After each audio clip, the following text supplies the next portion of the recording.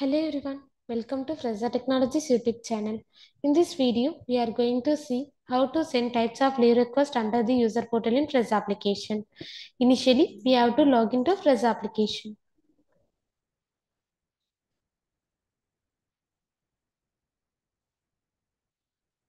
After your successful login, this is how your dashboard looks.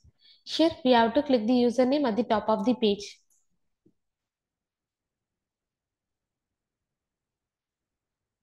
Now, the user portal page will be displayed on the screen.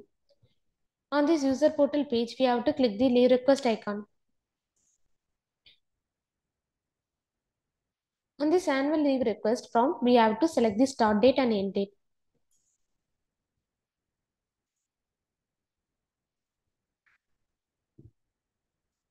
And also we have to provide type of leave such as annual leave, casual leave, maternity leave and sick leave. As per our requirement, we can select the leave type. Then we have to click the save button.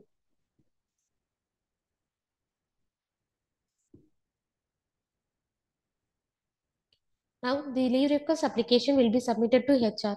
Here we can view the applied leave request under the leave request page. And also we can see the leave request status as approved once it is approved by HR. This is how to send types of leave request under the user portal in Fresa application. Thanks for watching.